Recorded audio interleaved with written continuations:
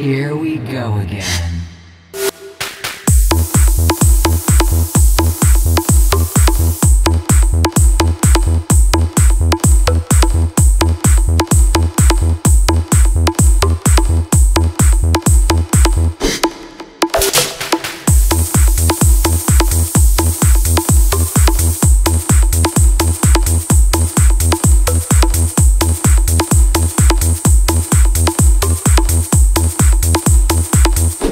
Here we go again.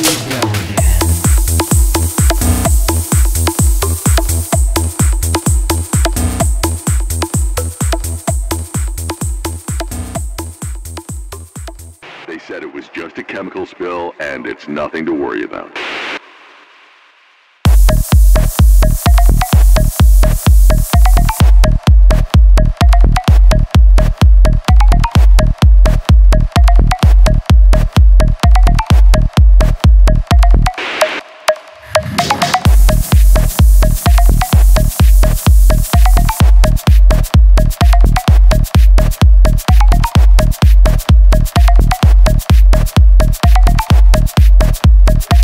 nothing to worry about.